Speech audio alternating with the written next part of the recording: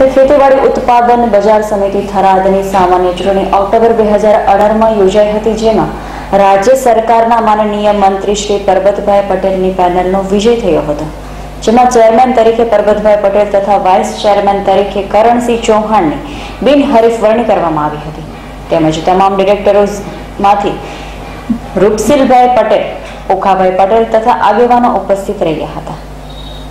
અહેવાલ રાજેશ જોશી, થરાદ.